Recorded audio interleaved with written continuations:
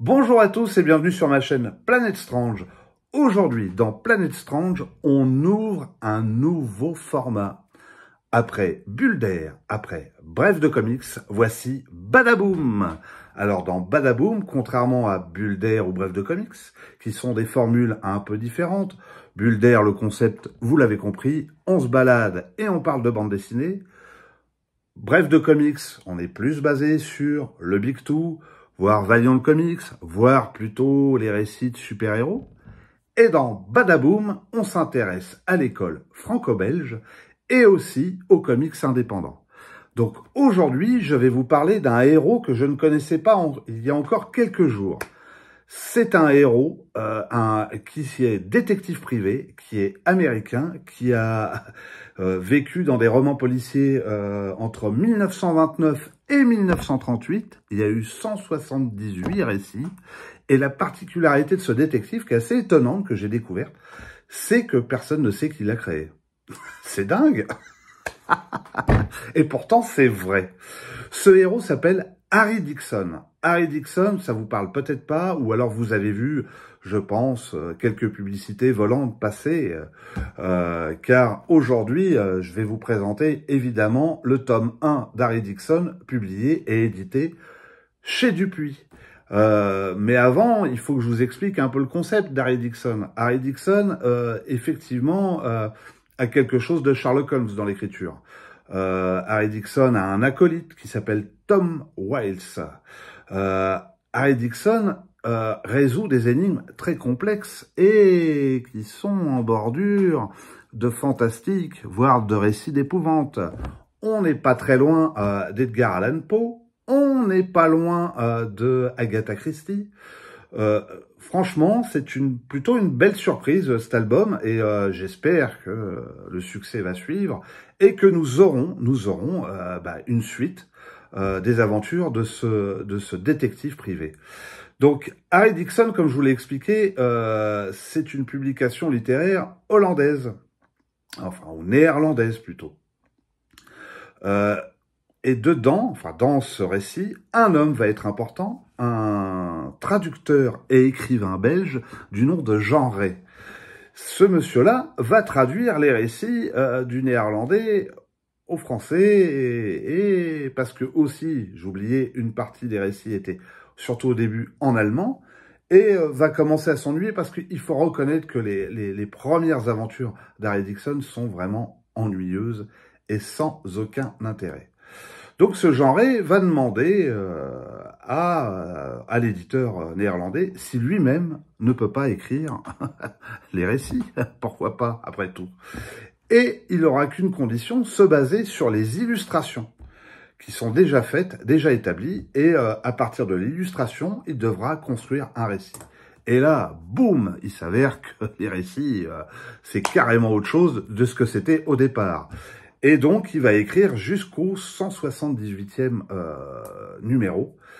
Et voilà, voilà l'histoire, surtout d'Harry Dixon, qui fascinera aussi le cinéma. Hein. Je pense à Alain René, qui euh, tentera ou qui espérera un jour faire un film sur Harry Dixon. Euh, je crois me souvenir aussi qu'il y a Jean Rollin qui avait un projet sur le sujet. Et côté bande dessinée, bah, il y a eu, euh, il y a eu plusieurs, plusieurs éditions. Il y a eu BD Art et BD, bon, apparemment publié par la suite par Dargo en 12 albums. Il y a eu les éditions du Soleil avec 13 albums et les éditions Grand Ouest Éditions euh, qui ont publié, alors je ne sais plus, peut-être bien deux un album, un seul album. Et aujourd'hui, nous avons, nous avons Dupuis qui a récupéré le personnage et qui édite cet album que vous voyez, qui est derrière moi. Donc c'est que je vous le fais voir un peu plus près et c'est une très belle édition.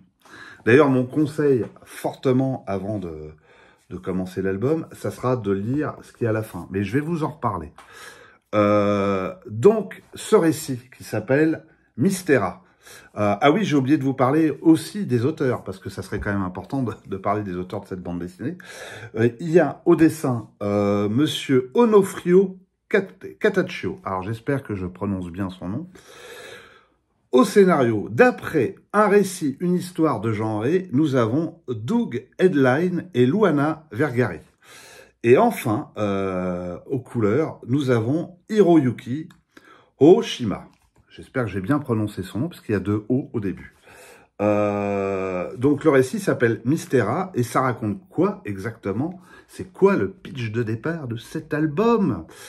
Eh ben, à Londres, dans une prison de Hammersmith, un condamné à mort est exécuté à l'aide d'un prototype de chaise électrique.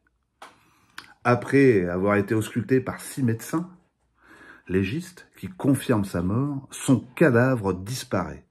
Il disparaît sous le regard d'une romancière, Delphina euh, Krishank, euh, je crois que je prononce bien son nom, qui est perché dans un observatoire et a, grâce à sa longue vue, euh, a pu à peu près voir sûrement ce qui s'est passé. Mais elle aussi disparaît mystérieusement. Et c'est par ce biais que Harry Dixon et Tom Wiles vont intervenir pour enquêter sur ce mystère du nom de que, qu'est-ce que j'en pense, moi, de cette bande dessinée? J'avoue que euh, il faut euh, comprendre que euh, l'histoire se place comme un pulse, avec plein d'événements plutôt fantastiques qui sont présentés et auxquels on a du mal au départ à faire le lien. Mais c'est tout l'intérêt, j'ai envie de vous dire, du récit, parce qu'évidemment, il y a un lien entre tous ces événements. Il y a aussi une histoire de château hanté, donc je ne vous dis rien, vous découvrirez par vous-même, je l'espère, ce récit. Mon conseil absolument avant d'aborder et de lire cet album, euh, c'est de lire ce qu'il y a à la fin. Donc à la fin, vous avez un récapitulatif qui vous présente Harry Dixon par genre, qui est donc ici, hein, je ne sais pas si euh, je vous fais bien voir, voilà. Et il y a plusieurs pages, c'est très intéressant, c'est là où j'ai appris d'ailleurs beaucoup de choses. Euh, vous voyez, donc je vous fais voir un peu tout ça. Il est question évidemment de genrer, il est question euh, bah, de, de, aussi tous les numéros euh, que vous voyez euh, des aventures d'Harry Dixon. franchement, c'est une super édition. Moi, je félicite Dupuis pour ça parce que ça nous aide. À partir du moment où on a lu le préambule, pour le coup à la fin, eh ben on comprend un peu mieux dans quel univers on va on va rentrer. Si vous aimez euh, évidemment euh, euh, Sherlock Holmes, je pense que vous ne serez pas déçus.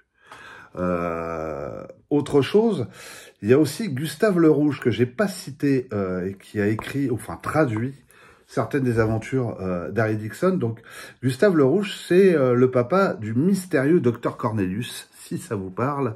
Voilà, donc c'est pour vous donner un peu la teinte et l'ambiance qu'on retrouve dans ce récit il y a un petit côté fantomas aussi, il y a, il y a, tout ça.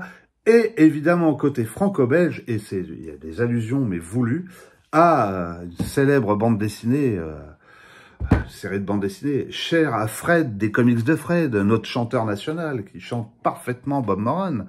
Euh, eh ben, nous avons euh, aussi des influences de Black et Mortimer. Je pense que la couverture euh, vous fait penser un petit peu à, la marque jaune. Je, enfin voilà, hein, si vous avez lu la marque jaune, vous comprendrez à quoi, à quoi je fais référence. Euh, sur l'édition, il y a un truc qui m'a vachement plu aussi, c'est l'intérieur. C'est-à-dire l'intérieur est quand même magnifique.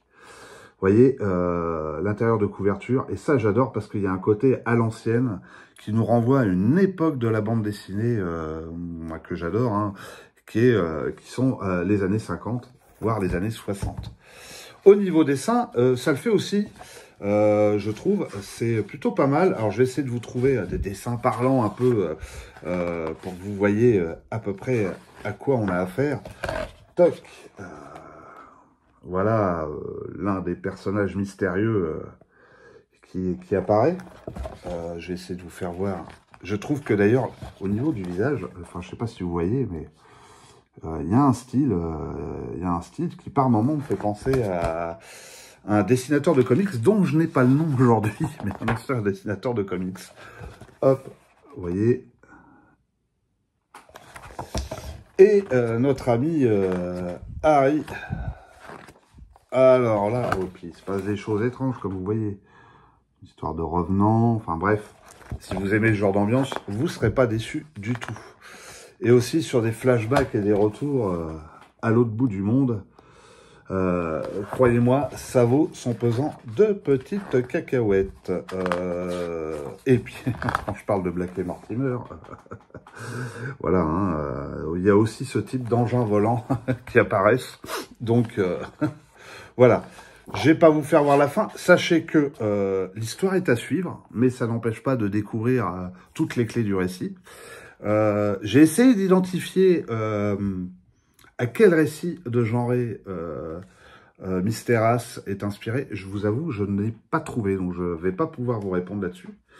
moi, je le conseille, je, vous le conseille fortement.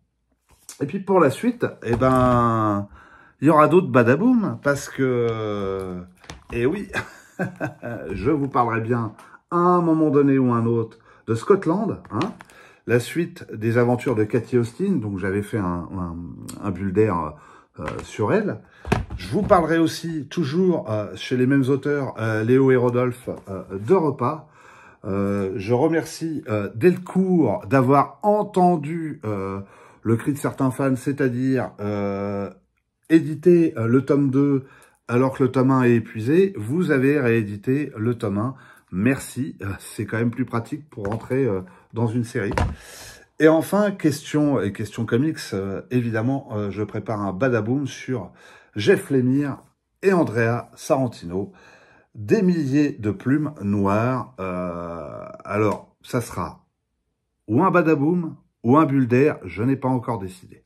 Mais je suis en pleine réflexion sur le sujet, donc je vous dirai ce que j'en pense à ce moment-là. Voilà, bah, j'espère que tout ça, ça vous a plu. J'espère que je vous ai donné envie de découvrir Harry Dixon. En attendant, je salue tous mes camarades youtubeurs qui me font de la pub sans arrêt, qui sont d'une gentillesse incroyable.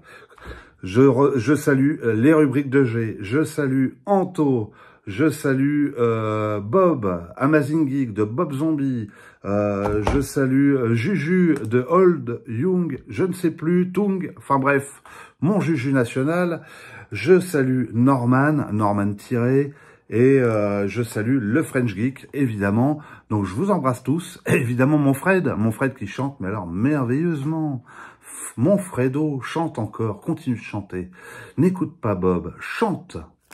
En tout cas, l'Eurovision est passée. Moi, je vous embrasse hein, bien fort. Et n'oubliez pas, le Parigo, vaut mieux l'avoir sur YouTube. Bisous à tous